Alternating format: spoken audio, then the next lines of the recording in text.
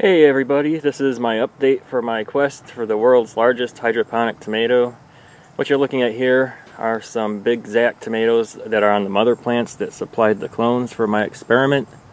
And um, I'm going to pick some of these right now and see if it breaks my record of 1 pound 7.25 ounces.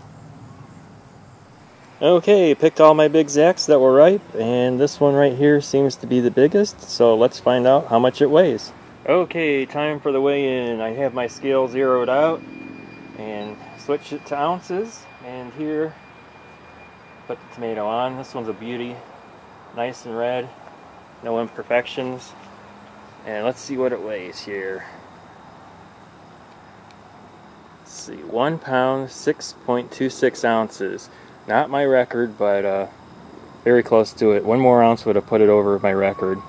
Anyway, that's all for that. Oh my gosh, what just happened? And here they are. Here are the tomatoes. They're approximately four feet tall right now. And uh, it's been four weeks since I did an update. I know I promised every two weeks, but I got busy and couldn't do it.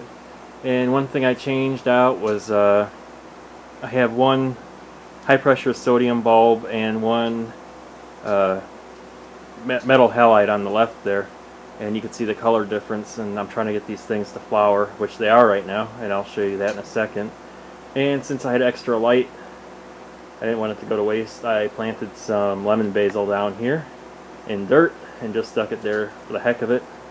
And let me give you a closer look here. Well besides switching out one of the lights to high pressure sodium I've also changed my nutrients. I'm using Maxibloom and with in combination with uh, CalMag Plus. And uh, that's just to get the plants flowering because they're getting too much nitrogen before and growing like crazy. And uh, I would use Floramato, but uh, I don't have any more right now. I ran out with my last batch last winter but um, I'm gonna buy some more because uh, they're gonna stop making it soon. And I am not even sure if they're making it anymore right now but I know it's still available online in a few places so time to stock up.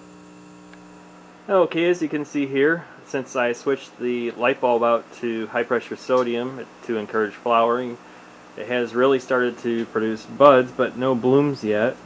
And up here I have a really big flower. Let me see if I can show you that one. Right there. I'm hoping that's a mega bloom, because if it is, I'll have a huge tomato off that guy, and that's the goal. And um, Actually back here you can see I have my tomato seeds fermenting on the shelf and cucumber seeds.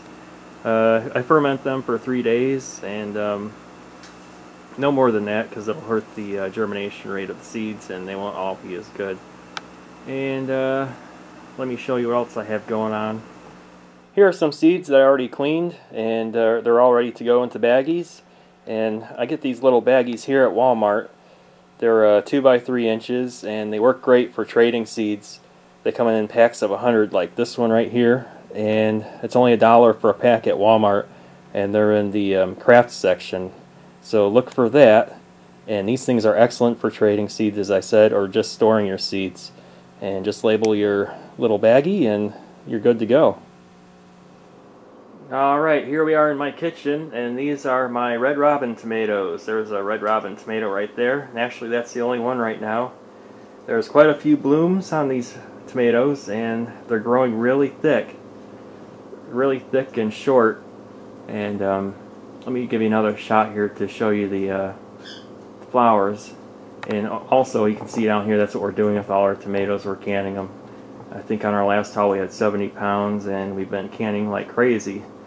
So that's what we're doing with them. But let me show you these flowers here. Here are the red robin flowers. You can see how many there are. There's just tons all over the whole plant. And I'm about to pollinate them with the electric toothbrush. And I'll have a ton of tomatoes here soon. Not big, but at least fresh. And I guess that's all for this time. And keep watching.